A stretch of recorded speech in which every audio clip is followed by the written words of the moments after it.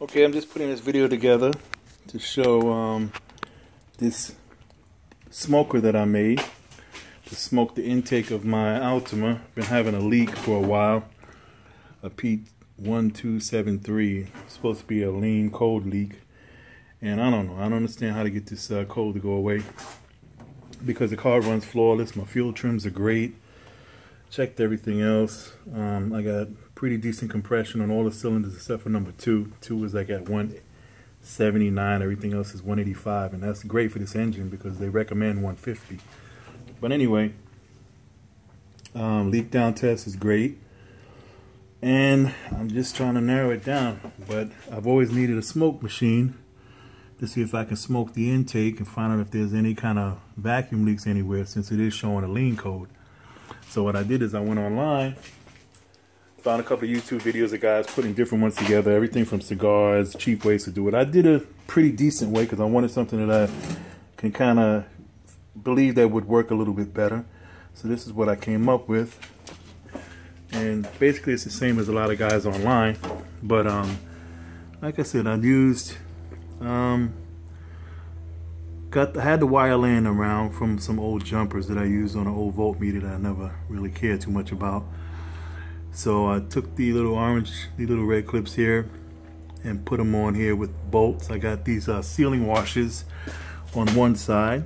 Plus, I don't know if you can see it, but there's a grommet that I got from Harbor Freight, a kit of grommets. So that's the first washer that you might see right there. And then I got the sealing washers on the outside of that. So you see the two rubber pieces there. The grommets are great because once you drill a hole, the grommets actually go from the inside to the outside. So it actually completely seals off or um, stops the, uh, the bolt from touching the metal can completely. So you don't have to worry about the can itself getting or being energized or hot. So that goes into there. And as you see on the other side, it comes out and then I have a nut with the wire. Now this is what you use for the smoker this is um, four pieces of tiki wicks, you know, replacement tiki wicks that you put in those tiki lamps.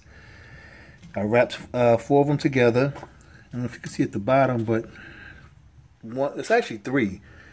Two that I left long, long enough that each end would actually extend down into the can and touch the bottom to wake up the, the fluid at the bottom.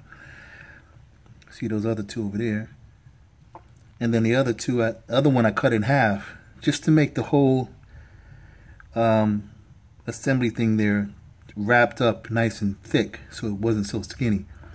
So that's actually three pieces of tiki wick material. And then I have 20 gauge uh, resistance wire. I forgot what they call it. But it's a resistance wire, not the cathode wire. Uh, I'll look at the, the uh, packaging. I wrapped that around. Now I measured that wire with my voltometer to 2 ohms. Because that's what a lot of guys online they were trying to get around 2 amps. So since I'm putting this is going to be connected to the car battery which is 12 volts. So if the wire resistance is 2 ohms that would give me roughly 6 amps running through the wire. Which from what I'm finding this is the first time I put it together I didn't even try any other experiments and the thing was putting out so much smoke I was amazed. So I, I won't even touch anything. Everything is adjusted perfect. But once again you can see I'm losing focus here.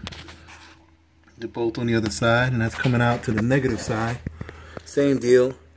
The two washers one is the sealing washer which is the washer with the rubber um, material made onto it. And then the second one touching the can is actually the grommet which stops the bolt from touching the can I'll show you that in a second then I put some heat shrink around the little uh, eyelet connectors it comes out bought a little bit of this uh, whatever you call this stuff, I don't know. And I put two um, alligator clips on here to connect it to the battery, which holds real tight. So that is actually what energizes this wire that's basically a resistor because if you didn't have that wire there as a load, then you would basically be shorting out your battery when you connect those two leads.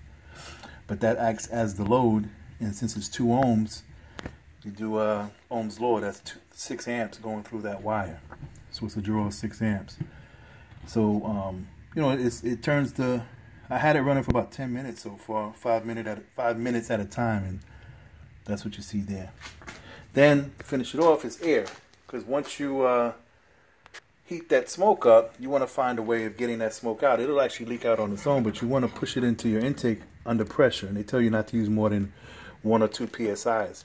Actually, if I use more than that, it actually blows this lid off. This is the lid, same kind of deal with the sealing washer on both sides. And I got a bar connector that I just screwed it through. I didn't even put a nut on it, and it holds the pressure fine. I'm surprised. But it's a tight fit. I made sure that I measured the sealing washers to be to go in there, and it took a little bit of force to get this to screw in. But I only did that because I wanted to be able to have a tight fit where I wouldn't have to use a nut and that's exactly what happened. So this just seals on the top like that. The smoke comes out of the pipe, and then I'll find some way to put an adapter here, maybe from my uh, Mityvac. Has little adapters that I can plug this into a vacuum line, any kind of vacuum line on the engine to, to induce the smoke into the intake. And I'll be able to find if I have any type of uh, intake leaks. And basically with an intake leak on a car like this, this is my mass airflow sensor right here. So what is the code is really saying is that the air that's coming past that mass air, the computer is adjusting and it's giving you the correct amount of fuel air ratio or fuel through the fuel injectors to give you a ratio of 14.7 to 1, which would be perfect. But if air is getting in from other some other source and it's not being metered by the air, uh, the AFR right there, then the engine or the computer doesn't know that there's more air being added, so it's still adding the same amount of fuel, and thus you're running lean. Because now you have more fuel being added to the engine with the same amount of gas that the computer thinks it needs. So I'm assuming that's the whole deal, and that air has to be coming into the engine somewhere along this path, somewhere on the intake, going into the engine. The engine is actually sucking in more air than the mass air airflow is telling it that it's supposed to have. So the fuel injectors are not adding enough fuel. And my um, O2 sensor, or this one is actually an AFR sensor, is reading it and my fuel trims, which is kind of weird to me because my fuel trims don't seem off. You would think that my fuel trims would be reading the engine is running lean and would be adding fuel. I would have high numbers on my long term and short term readings, but I don't. I'm running around zero, no more on my short term, no more than two or three, plus two or three, and, long term is at 0.8 most of the time. So I, I don't understand. But like I said, the, at least with the smoke machine, it'll help me narrow it down. So um, let me put everything together and show you the smoke in action.